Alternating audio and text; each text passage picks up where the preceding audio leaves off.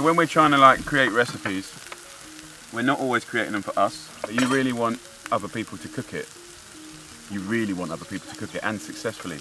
Between me and Rebecca, we're constantly trying to make sure the journey is as clean and as clear as possible. Some books we write and it's just like get on with business and this is what you do and it's more of a manual. This one's going to be full of emotion. Some bay leaf, a couple of sausages torn up, roughly 80 grams of veg each, squash, onions and celery. I think we, we don't have to rush it, I think 10 minutes, just you know, let the veggies cook through a little bit, like just catch them a little bit.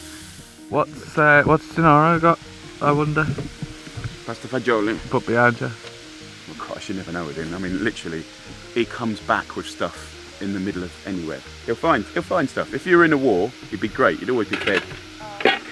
I brought you some Chicoria. chi- chicoria, nice fresh rosemary.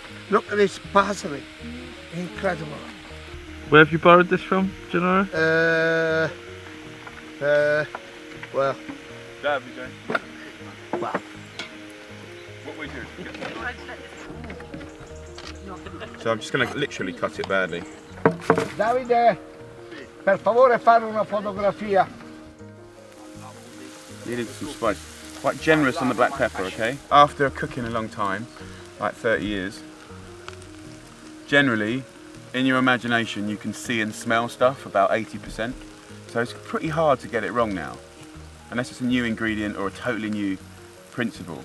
Sometimes I cook things and they're really good, and uh, we put it into testing. And when the girls are replicating it by words, it's not translating somehow. And we we have to sort of like, what have we done? What? And you you got to find out where it's almost like being a plumber and there's a leak somewhere, but you just don't know kind of quite where it is. The testing part, which is what all the girls do, is a is kind of the key, really. I think that's ultimately why people come back and buy another book because the recipes really work. They've been really drilled. Come round, Ginny. Don't be scared. Don't swear at me. Ginny often swears at me through her teeth. She thinks if she does it through her teeth, it doesn't count. So this is called mal tagliata, badly cut. Honestly, I can see a few bits of grass in there because Ginny's boiled it under a tree. Under an olive tree. Yeah, I can see a spider that's fallen in there.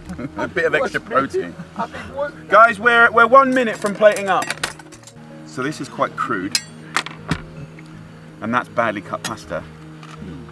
So one of the big mistakes that British people or non-Italian people make is draining the pasta in a colander and letting the life steam away. Thank you very much. So what, what we are trying to encourage is the emulsification of fats, some of which come from the pork, and then obviously all the olive oil and the water.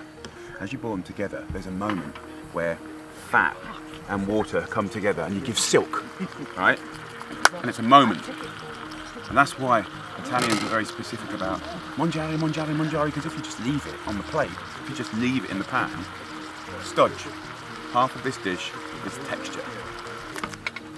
Now we start to try and find that moment. Some parmesan goes in, not too much. Right, can you can you see how the sauce has almost gone silky now? Look, look look, look, look, look, look. Get in there, close up, close up, close up.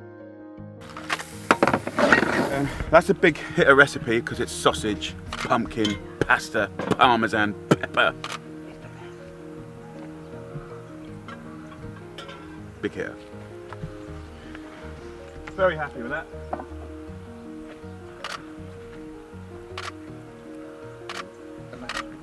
So I'm just doing long strokes of parmesan. Go and get some more bay for me, darling. Yeah.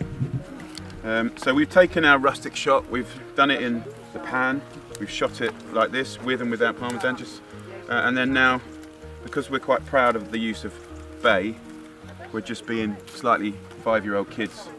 Um, and this probably won't get used, but it might be really good for social media. Um, or it might get in the book.